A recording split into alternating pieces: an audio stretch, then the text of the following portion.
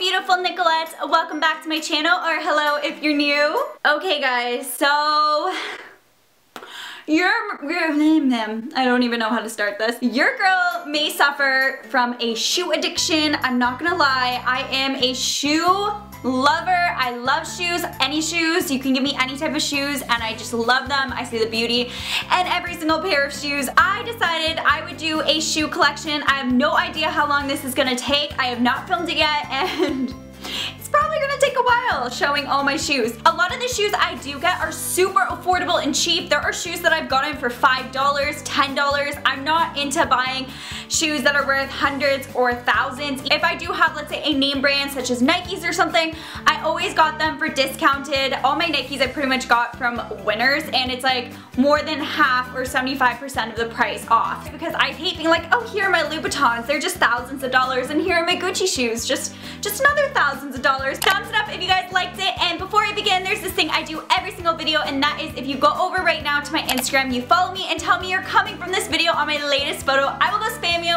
as long as you're not private. So just just don't do it to me. Make sure you're not private. Leave a comment in the comment section which one or which ones were your favorites or what type of shoes you guys like. That being said, let's get into it.